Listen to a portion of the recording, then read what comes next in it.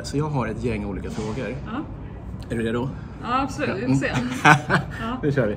Hej och välkommen till OS-peppen eh, där vi pratar med svenska OS-simmare och ledare. Du har ju varit med på OS tre gånger tidigare.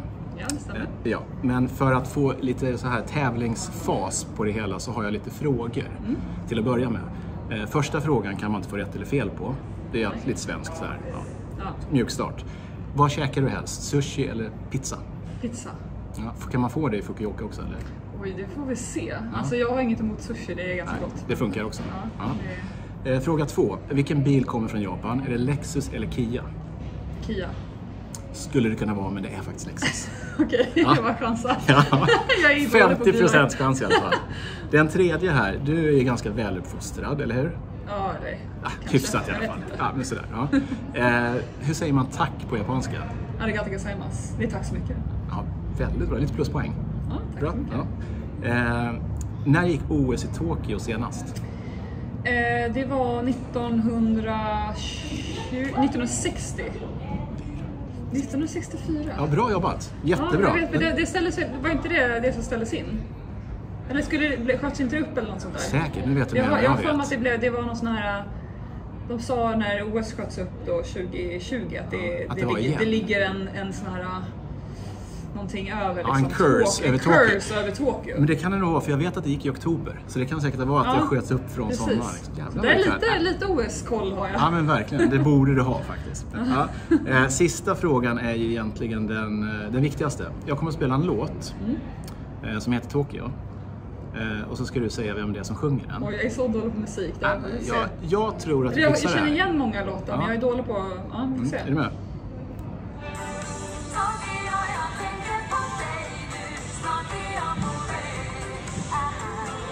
Ja, Carola. Jättebra.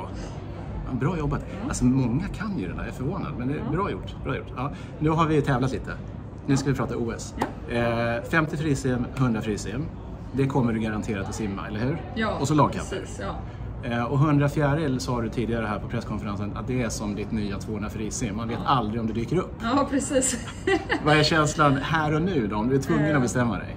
Men alltså, känslan nu är ju att jag är ju nyfiken på hur det skulle kunna gå. Mm. Men däremot är det lite speciellt för mig att ställa upp på en gren där jag eh, känner att jag är så extremt långt ifrån världstoppen just nu. Mm.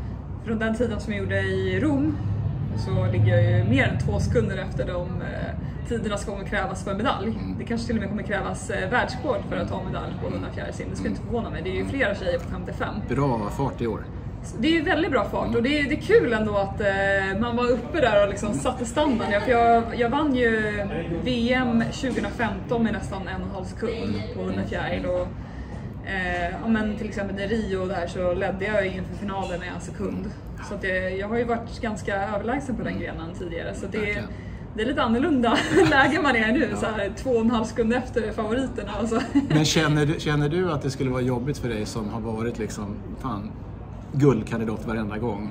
Att kunna gå i och sen kanske komma femma, sexa. Skulle du känna så, ah, fan. Ja men det är, det är ju lite speciellt, ja absolut. Det blir lite jobbigare att ställa upp på en sån gren och, och sen så känns ju sista 25 meter på 100 fjärilsim inte lika bra Nej. längre Nej. eh, som det kanske gjorde för några år sedan. Eh, för träningen har ju varit lite mer anpassad för 50-100 meter frisim.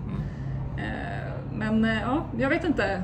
Om, om jag ställer upp så är det för att jag är nyfiken och så hoppas jag att min rutin på grenen ändå kan eh, Men det är ge 50 någonting. och 100 som är liksom fokus Ja, egentligen. självklart. Och det är de sista fyra dagarna så jag hoppas att även om jag skulle ställa upp på 100 fjärilsim så borde det inte påverka för mycket eh, för sista fyra dagarna på mästerskapen. Mm. Eh, Och hur skönt känns det att inte behöva, säger jag nu, simma 200 frisim en massa gånger?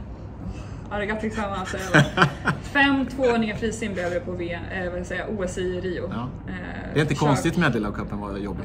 Både Michelle och jag gjorde ju fem tvåhundringar. Ja. Så att, eh, det hade jag aldrig klarat idag kan jag säga. Eh, men däremot så var jag inte så snabb på 50 frisim där. Så jag är ju snabbare på 50 nu än, än i Rio. Mm. Så, ja. Om du får välja, medalj på 50 frisim eller medalj i Medelhavcupen? Oj gud, det går inte att jämföra. Det är två Säg olika. bägge då. Säg bägge. Ja, men bägge, självklart. Ja, nej, men det hade ju varit otroligt häftigt. Ja. att- Det, det känns ju ganska... Alltså, Ja. Man ska göra det också, men det är inte omöjligt. Drömmen hade ju varit mig Michelle Coleman och Pernilla Blom på Mm. prispallen. Det spelar ingen roll vilken ordning. Mm. Ja, är det så? För det var nästa fråga. Så. Det spelar ingen roll vilken ordning, det är klart det gör. Jo, det är klart. Men- Men tror du att, jag tänkte så här, för hon, eh, ja, hon simmar ju bra i år. Eh, Du är ju inte jättelångt efter fast du har varit skadad så länge. Hur stressade är de i världstoppen av att du är tillbaks tror du? Nej men jag tror att eh, stressade tror jag inte. Men eh, de är kanske inte så vana att jag kommer jagandes som en eh, haj bakifrån. Liksom. I vanliga fall så brukar ju de få jaga mig. Jag brukar ju alltid göra de snabbaste tiderna under säsongen på 50 frisim.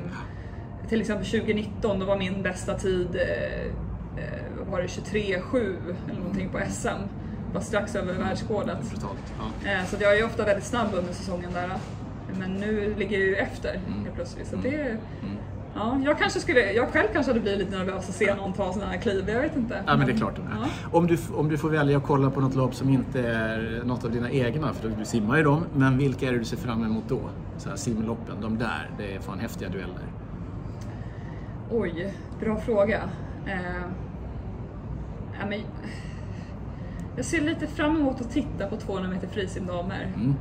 Eh, jag- Vem vinner då? Tittemus från eh. Australien, hon slog ju nästan världsrekord. Och det är Federica Pellegrinis världsrekord. Men jag, Och Alltså- Ledecky har inte simmat jättebra. nej, precis. Det, det ska bli kul att se den distansen från eh, avstånd. Och sen, vad är det mer för grenar? Och känna deras sista 25 meter när mjölksyran sprutar, det slipper du. Åh, exakt, men då ska jag tänka på den tiden alltså. Ska tänka på det här när jag låg på bassängkanten med syrgas efter 200 fritt i Guangzhou. Den, ja, nej, det var ju min sista tvåhundring i långbanan. Fast det är alltså. ändå ganska bra att kunna avsluta med en sån. Då har man verkligen Ja. liksom, "Ja, jag, jag har tömt allt på 200 friser. Alltså jag var Never again." död när det var 75 kvar.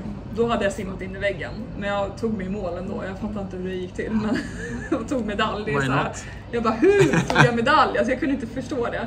Det var så, Nej, men det, ja, men det är ett bra sätt att sluta. ja men annars vilka grenar, om vi ska kolla herrgrenar. Eh, ja men eh, jag brukar tycka, alltså de, även de grenar som jag simmar själv. 100 Alltså, frisim ja, med den 100 nye rumänen, 16 år Exakt, gammal. alltså Den- 16 år killar, det är helt Och ganska tamig.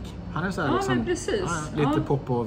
eh, Och sen så, ja men jag har ju nära vän Chadeklo från Sydafrika, det ska bli kul att se. Hur går det för honom nu då? Har du Ja, koll men det går bra, alltså han, eh, han kämpade ju på där i Sydafrika med han tränar helt själv i flera månader Mm. under den här pandemin eftersom att eh, han har varit väldigt liksom, man säger inlåst där i Ja, Sydafrika. Man har ja. inte kunnat ta sig från Sydafrika och, och så. så han fick träna själv och ta hjälp eh, från sina föräldrar med coachning och, Mm. och så.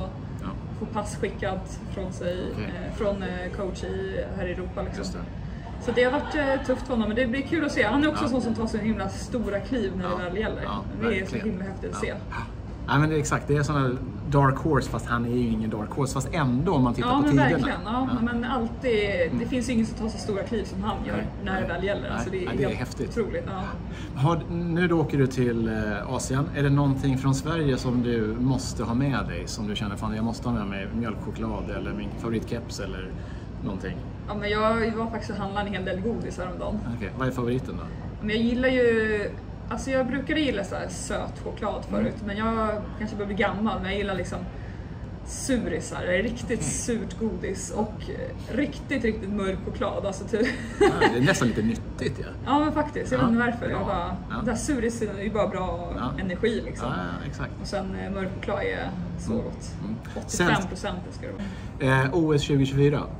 Det är bara tre år dit. Ja, Kommer du simma där eller? ja, det kommer jag göra. Ja. Vad, vad, då är det... Jag kommer inte sluta förrän jag är långsammast i ett 4x2 lag i Sverige. Ja, 402. Det kommer 200 igen alltså? Du har inte Ja, men riktigt... för lagkamp Ah, ja. Jag kommer Ah. vara kvar tills jag är... Ja.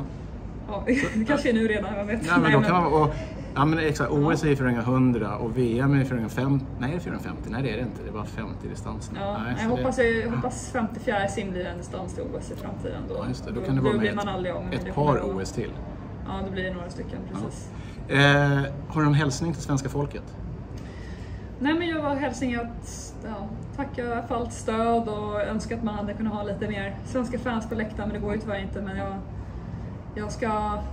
Ja, Du får, Försöka ta du, in får, allt stöd. du får vinka till dem som är i TV-apparaten istället för Ja, de det som är ska på jag göra, läktaren. verkligen. All, ni, ni alla får eh, liksom skicka era hälsningar på sociala medier istället och heja på mig där. Det blir bra. Sara Sjöström, lycka till! Tack snälla. Arigato gozaimasu. Fan, imponerande!